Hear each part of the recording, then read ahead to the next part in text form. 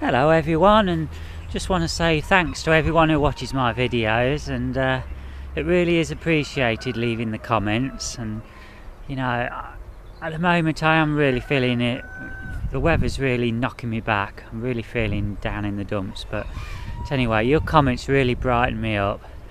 So anyway it's raining. Well it's just a brief period where it's just drizzle at the minute but we're expecting the heavy rain to come again you can see it's so soggy. But what I thought I'd do is take you around the plot uh, bit by bit so you can see what's happening.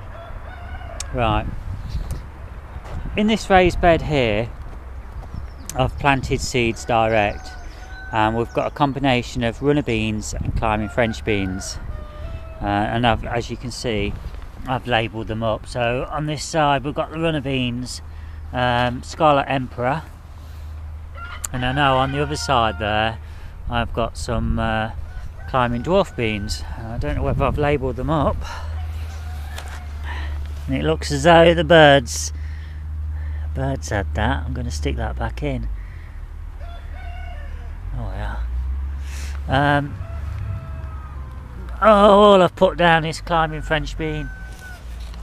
But anyway we've got uh, around here I can see we've got one two three four five um, six seven eight nine we've got 10 plants so we should get some on there.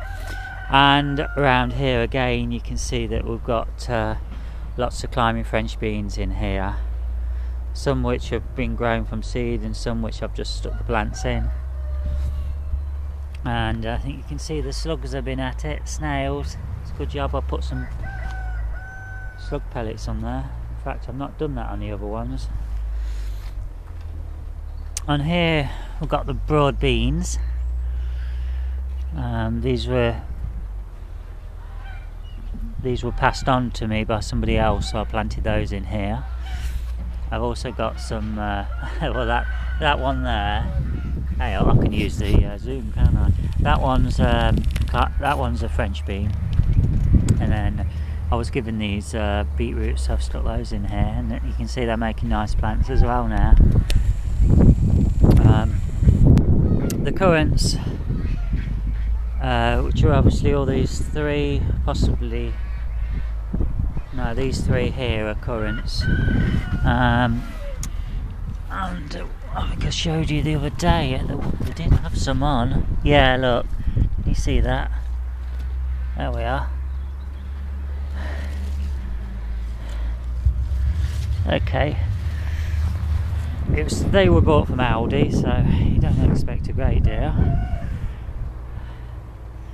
Uh, well we do actually because Aldi stuff is brilliant but uh, um, a lot of my fruit well most nearly all my fruit bushes you know whether it's blackberries loganberries uh, all these uh, currants uh, and all the other plants what are around here the gooseberries and the yellow raspberries and that uh, they were all bought from there.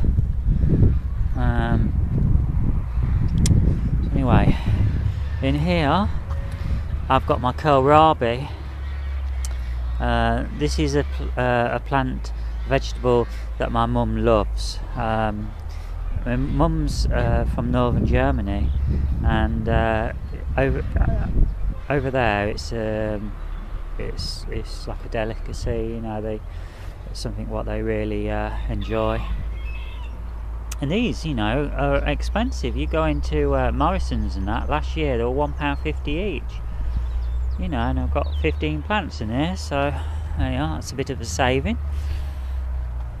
These are runner beans, and uh, you can see from here I'm going to have to stick another support around there probably to give them a helping hand although the ones over there are growing nicely up so uh, we'll have to see see how those go. Right.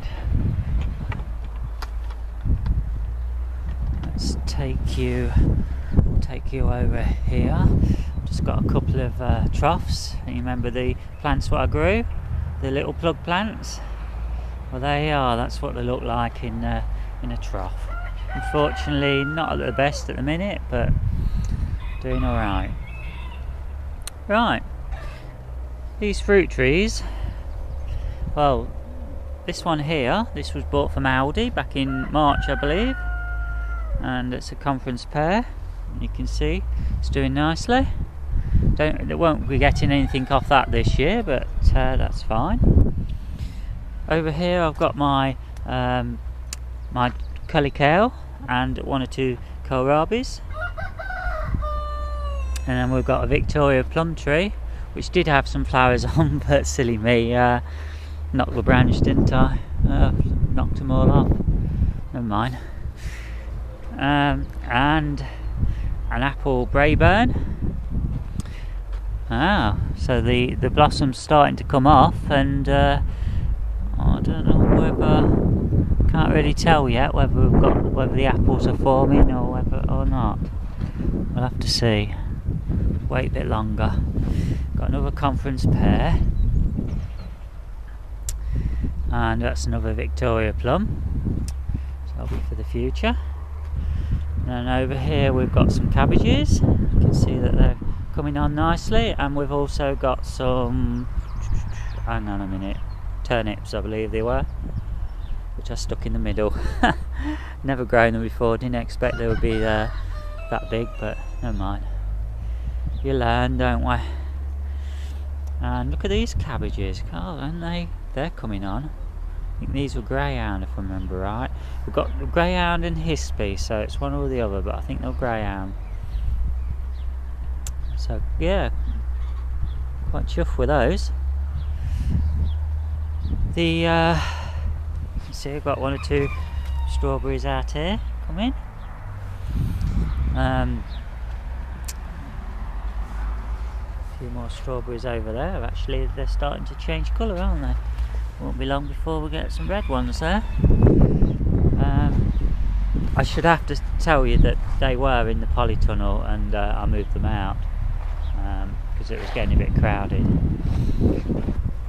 Yeah, so these are all my raspberries um, and these will take a couple of years to develop. Um,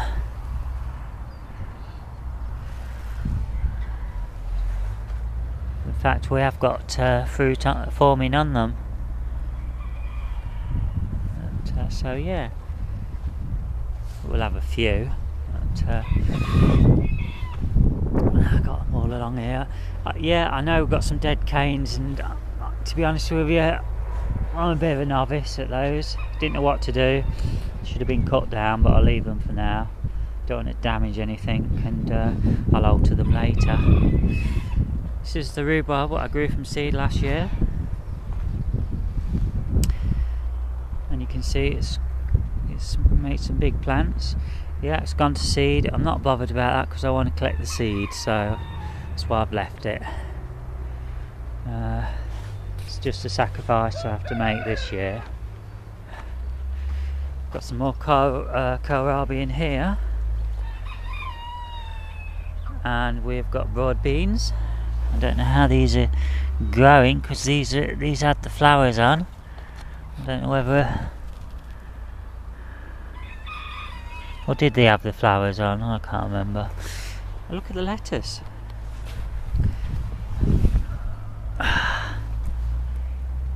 Reckon some of that could be picked, don't you? I mean, I'm.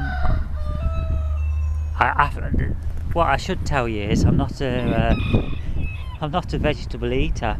Uh, I'm a meat eater, so I grow all these uh, veggie nut for my parents. Um, there's very little veg what I actually eat. Uh, potatoes is my main thing, but after last year's disaster, I've not bothered really growing apart from the ones in the polytunnel. And to be honest with you, they're not looking that great. Lots of leaves and no produce. So I don't know I might stick them outside, let them so they can get a bit of rain on them.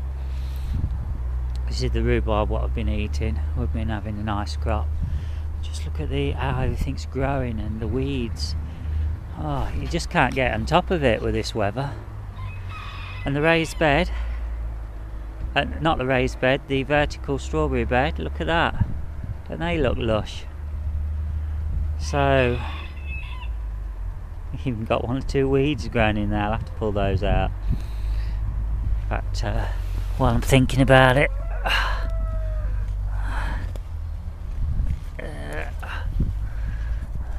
struggling a bit to get to those, but oh well, uh,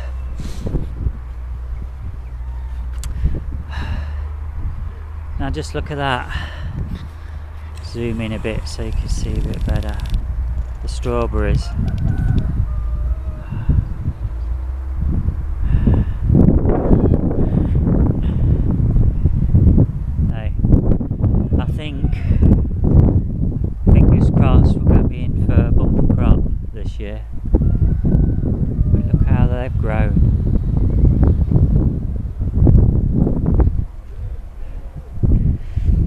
That um am I looking at the right one Yeah, that one there, yeah, that one there, and those two there seem to produce masses last year.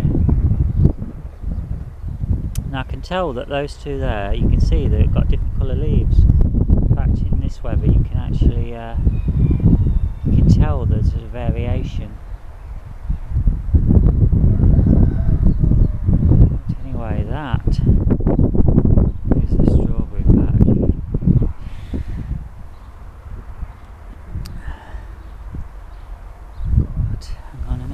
that doing? Oh, see that? Not far off. Don't know what they think to the weather. There's one down there. Can you see it? Can you see? Yeah, down there.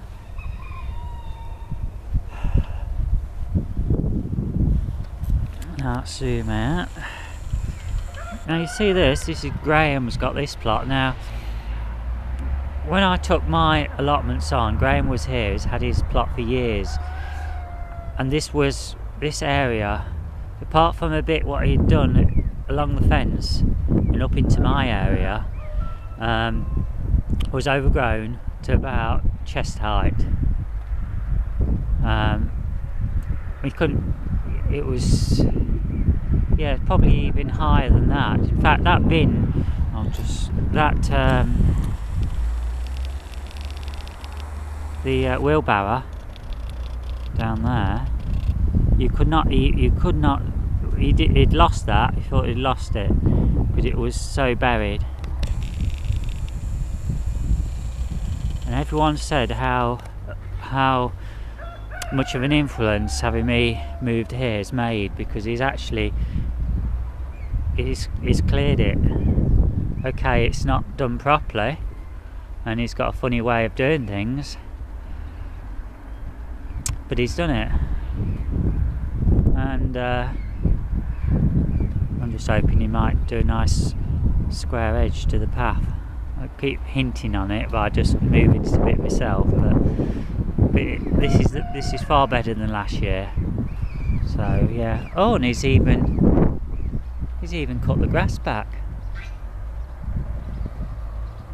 Because I didn't do that. I started down this bit. Brilliant Yeah, well chuffed with that.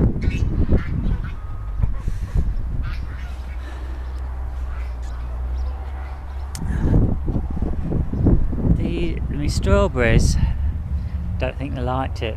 They were looking a bit funny, so I've stuck them out here, and they're not looking great now either, are they? No, I don't know. Maybe that's something which I've. Uh, I've lost. Uh, maybe they were too dry, or they could have been too wet. I don't know. We'll have to see. They'll they'll either survive or they won't. It's uh, not really any loss to me because I grew them from seed, um, and that's what it's all about. Learning process. Um, I won't bother showing you around the polytunnel um, because I don't think there's going to be much in there to show you. I will leave that for another day. So anyway, thanks for watching. Oh, don't forget to, uh, if you're interested in following my blog or my, um, or on Google Plus, I've got the links on my page on my YouTube page. Okay, thanks. Bye.